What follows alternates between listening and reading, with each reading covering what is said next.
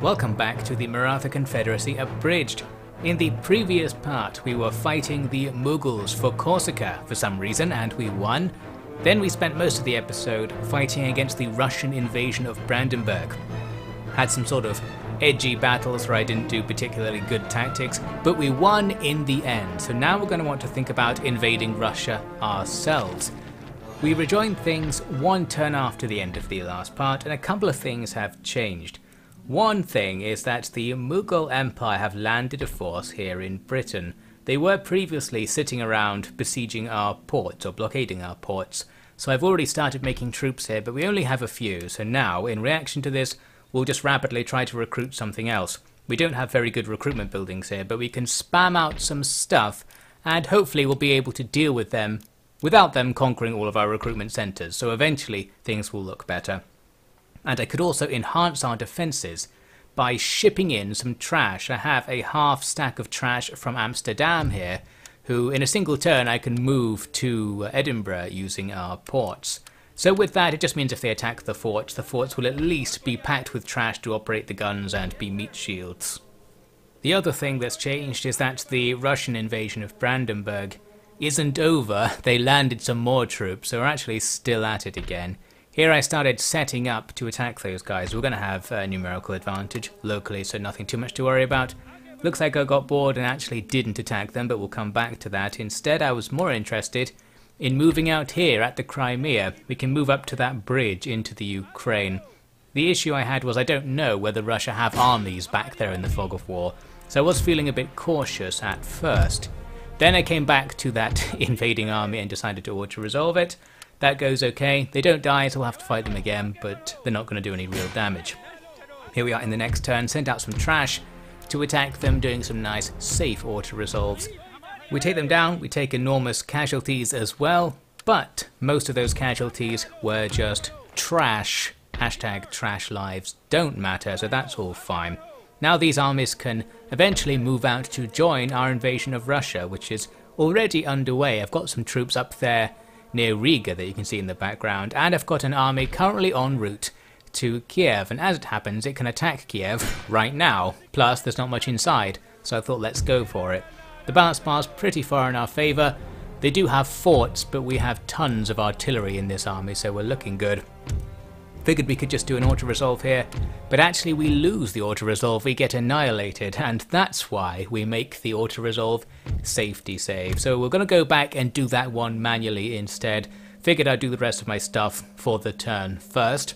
One thing I wanted to do was take the army that was marching up from the Crimea and divert them east. There are some easy captures out here, including our enemy Dagestan also over there, so we might be able to settle that war. Here's the attack on Riga. First I go in with a wave of trash, that's just a distraction. Now all the guys inside the settlement can't take part in the real battle outside. Since they had their force split between two armies, we're just going to exploit that and auto-resolve the guys outside. We lose a whole bunch of men there, hopefully a lot of those guys were trash from the reinforcement army, and that's that. We probably could fight and win this battle, there are no forts, but I couldn't be bothered. So we're just going to leave that place under siege for now, and then jump back to the Ukraine attack, where the enemy don't have very much and they have enough artillery that even though they have forts, we can just pound the forts into submission if we do this manually. This isn't a completely free process because their fort guns can shoot at us. I could in theory try to get out of the way or take cover or send forward a sacrifice, but I wasn't too worried about it. Figured we'd probably just destroy the fort walls before the guns did too much damage, so I just sort of sat around getting shot by them. Here we are a bit later, where the walls explode after we shoot them enough times. They're bagging some free kills as well, since they were manoeuvring on top of it. Good stuff, then I went and opened up another breach, and then I started moving up to get really close. My goal was to have the guns set up in canister shot range of the openings and then just shoot canister shot inside. Since their infantry tend to sit in the openings once they're there, so we could just gradually kill them for free and try to get a nice exploit victory or something like that. Looks like their cav tried to come out and then go back in, ended up fighting with them in the breach. We defeated most of them, then got out of the way, and then I went ahead with my plan. Here though, those enemy cav look like they're about to charge out and attack my guns. I quickly ordered the guns to load up that canister shot and get firing. Figured we'd be able to hit them with a couple of volleys, and because they're already damaged, that would send them packing. As it happens, well, nothing happens. Basically, we fire at them with a canister shot and it all misses. I think it goes over their heads. Not quite sure what the deal with canister shot actually is. Maybe it has a certain range at which it works, even though you're allowed to fire it at different ranges.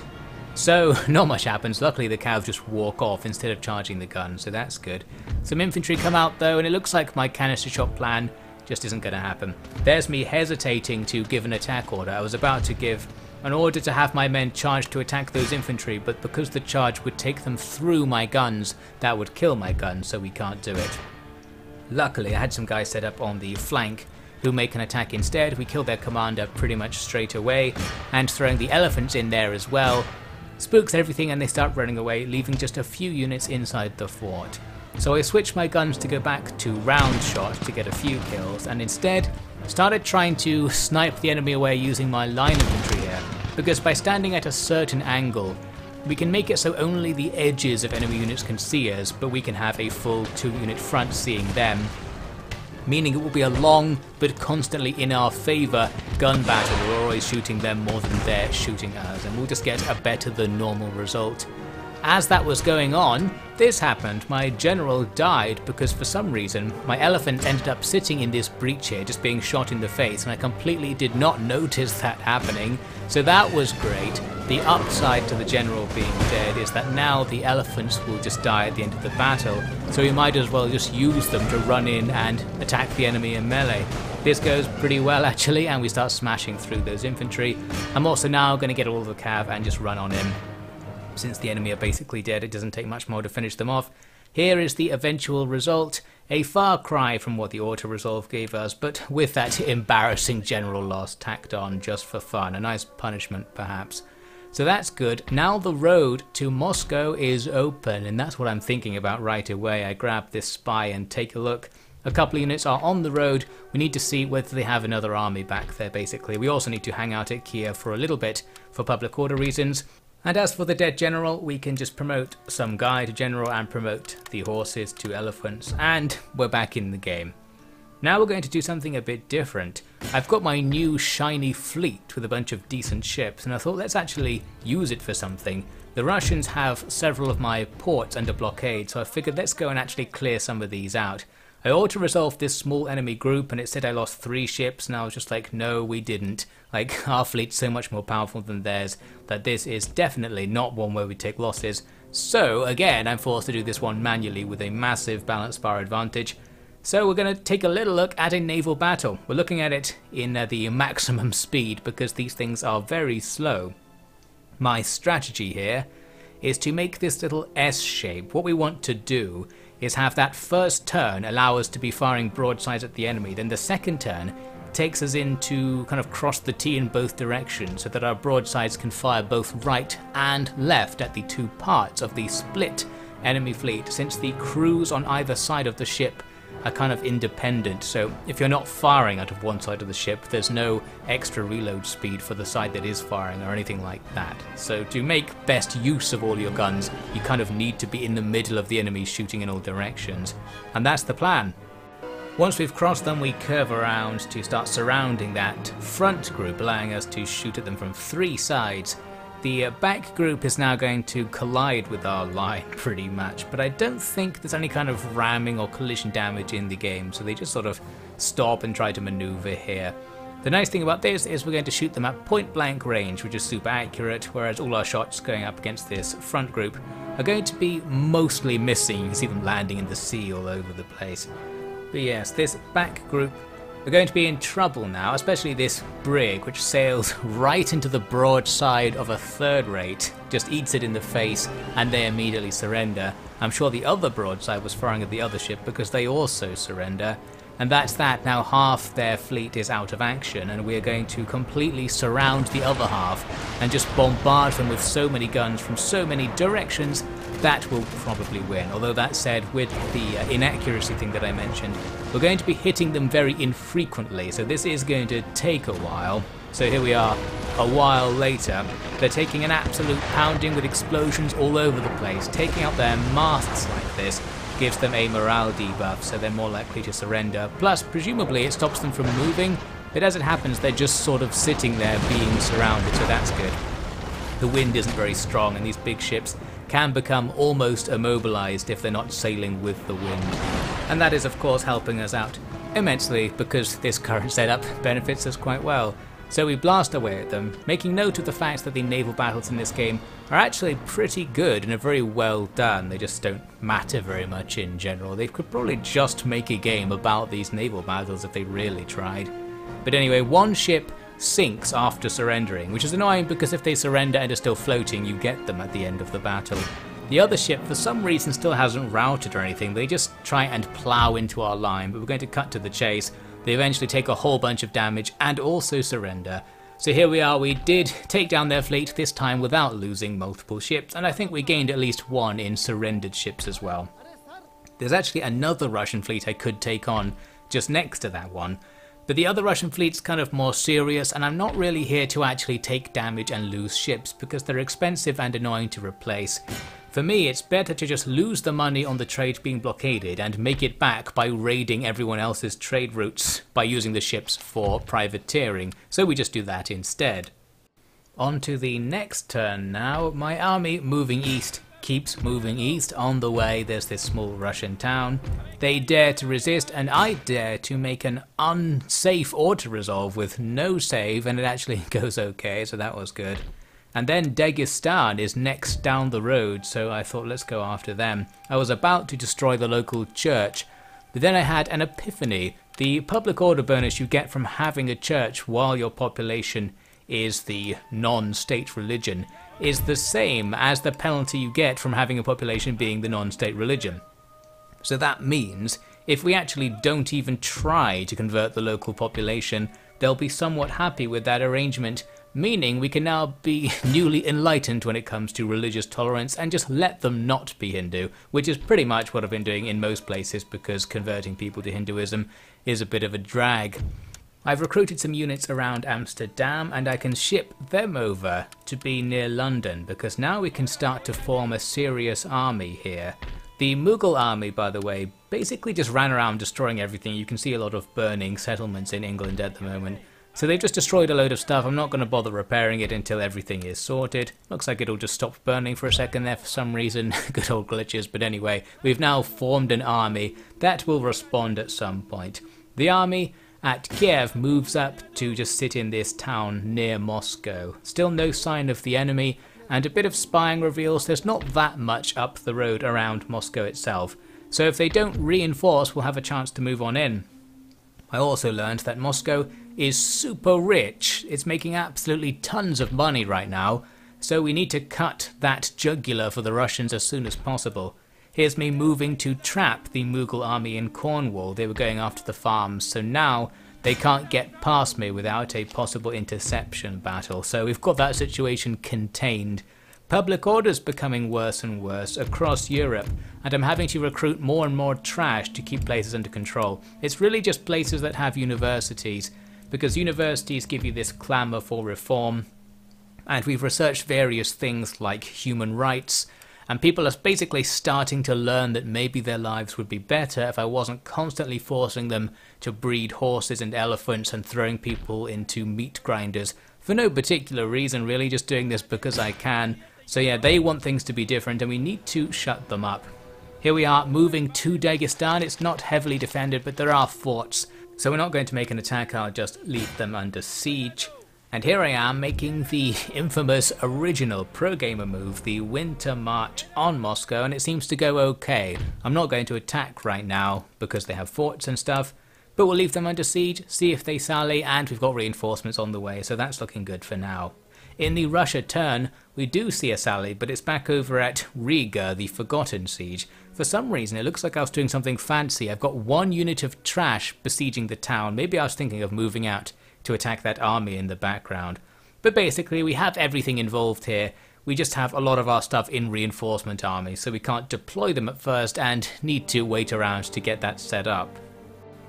Annoyingly, it's not like in some of the other Total War games where your first reinforcement army is all of your first set of reinforcements. So here, While our trash stack is the second reinforcement army, it comes on at the same time as the first one, meaning some of our unit slots are going to get used up by this trash coming into the field, although I can just withdraw them. At first though, they're going to eat the usual early battle cavalry charge, so it goes right through them. What these cav will find though, is we've got a sort of quicksand of trash thing going on because more trash keeps appearing behind the guys they just charged through, and then they find themselves completely surrounded and isolated, and we actually do eventually defeat those cav just with enormous casualties of course. Meanwhile they've also got a couple of units of infantry who appear to be charging out towards the one unit of, of trash I originally deployed. They're even charging in big, big blocks Napoleon style, and they get flank attacks by my cav, so they don't make it in, and these cav attacks are successful. We don't have a square, and unlike some of the uh, recent battles we've seen against Russia, they don't resist my cav charges. They're willing to die, perhaps because they don't have a commander. The presence of these elephants is probably spooking them as well. They do send out a mortar crew to negotiate, and we slaughter them quite quickly, so that goes well, just the usual stuff and then I'm going to move my big wing of cav up towards their fort. The enemy were gradually forming up just outside the walls, but they were taking their time about it, so I just kind of went in and made this attack.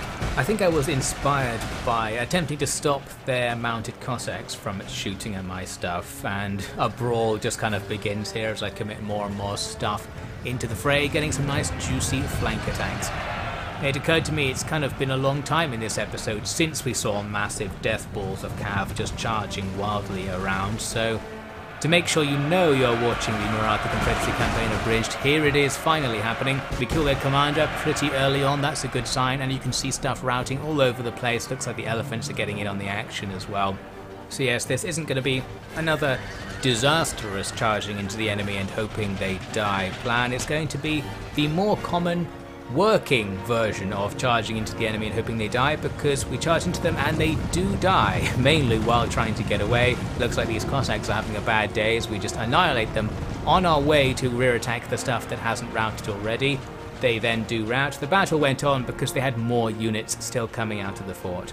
But basically, they ended up getting swamped, didn't go very well. Here's the result. We won and we can probably win against what's left once we attack in our turn. But we're going to move right on to another battle now, because the Mughal Empire stack that we trapped in Cornwall does try to move and we get this interception battle and this one's going to be more serious because they have various quite decent units and loads of experience as well. It was a super rainy day which probably gives us an advantage since it does something to the rate of fire of guns and we're all melee stuff. But the main effect it has is it's just hard to see what's going on. The fight starts with the enemy's general on his elephants charging forwards. Didn't have a particularly good way to deal with this, so I just kind of ran the cav into them. The charge doesn't do anything, but the unit routs, and now we can take them down nice and easy, and that does allow us to get that early general kill, making the rest of the battle easier. From here I just kind of ploughed on forwards because more stuff was coming up. There were some horse archers that came out to shoot at us, so charged into them and then more and more stuff started coming over from behind them and things are just gonna get started in the center really in a big blobbish fashion. And actually it didn't go that well. They do have a load of camels in here and they have artillery shooting into the fight. My artillery might also be shooting into the fight at this stage, not quite sure. So that central battle was really just a blob with not much charging going on. But on the right and left things are a bit more uh, usual. We charge into the enemy's infantry lines, their musketeers, the green unit I forget the name of, has quite high melee stats so they don't really die when you charge into them, but their militia units certainly will. Back in the centre things are starting to go wrong actually, because the pounding from the artillery ends up routing a big blob and we actually, for the first time I think, lose a fight with one of our death balls without me voluntarily withdrawing, so bad news. Over here looks like we're being bogged down. They've got melee troops and camels fighting our lancers, and while I think we do have stats on our side, those fights are just grinding on and not allowing us to move on as quickly as I would like, and we could use the reinforcements. Similar situation here on the left, really. Then we saw something a little bit special. They have some kind of experimental advanced ammunition type on their mortars, I think. and they can set the ground on fire. As it happens, they didn't really fire it at anything, so that doesn't achieve anything, but it was nice. Then my cav sweep in and attack the artillery positions, so uh, no more of that. They're not actually going to inflict massive damage with those special ammunition types. We should get some of those at some point. The enemy's camels run through the fire. I'm guessing it doesn't do damage. Maybe it just doesn't do friendly fire damage. Who knows? Basically, now we've won the flanks after a bit of grinding and running around. And we had to fold in to deal with the centre. And we're not going to do that in a particularly sophisticated way. We're kind of just going to plough in. With their general already dead, we don't need to do anything too fancy. But actually the reason behind me being so brazen was just because from a high up camera perspective, in heavy rain, you can't really tell what's going on at all, so I was just kind of clicking on faintly visible flags and moving them around. But down on the ground you can see it's a grind where things aren't actually very good, but our morale advantage will allow us to win because the enemy just start to leave as we overwhelm them. Once their trash gets out of the way, we can rear attack and flank attack the better stuff, these musketeers. They eventually go, and all of a sudden this is going to turn into a slaughter as our surviving cav rally forwards and get going. By the end of all this, we've pretty much dealt with the invasion of Britain. We did take moderate casualties, but this is one of the cases where it doesn't matter because this army only exists to defeat that enemy army, and now it's probably going to achieve that. Now a couple of scrappy things to finish the episode that happened just after this. One thing was that I bothered to check out the minister system on someone's recommendation and I moved people around and was able to get slightly higher global public order, so that's going to help out with people realizing they have rights. We got a notice there saying that our national leader has died, that might be affecting public order. That minus one to happiness for lower classes isn't too helpful on the harsh reputation. Still looking very good at 70, so she is our new queen and we are forced to stand. The only other thing to mention is I discovered at this point that we've actually unlocked a new unit type only available in places that have a really high level recruitment building. It's the Sipahi, it's like an Ottoman Empire style unit, and they're actually really good.